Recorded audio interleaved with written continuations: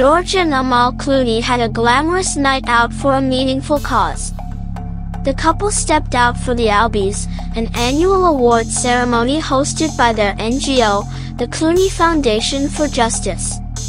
The Albies aim to shine a protective spotlight on courageous justice defenders who are at risk, sending a message to those who abuse human rights that the world is watching, as stated on the organization's website.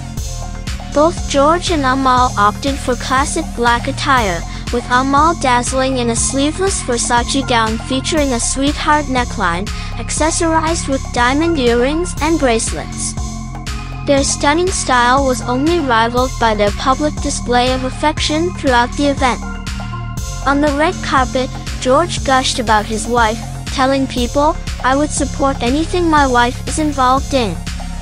She's always on the right side of history, and I'm always so proud to be in the same room with her, no matter what.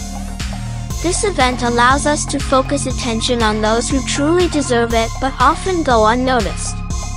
Amal also shared her admiration for George, stating, He's an amazing advocate, and it means so much to me to be able to do this work together, with him helping bring these important stories to life.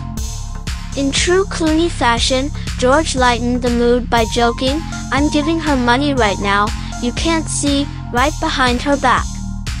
Their appearance at the event came just one day before celebrating their 10th wedding anniversary.